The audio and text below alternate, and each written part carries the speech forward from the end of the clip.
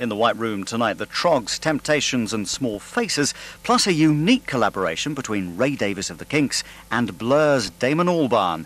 That's in an hour's time.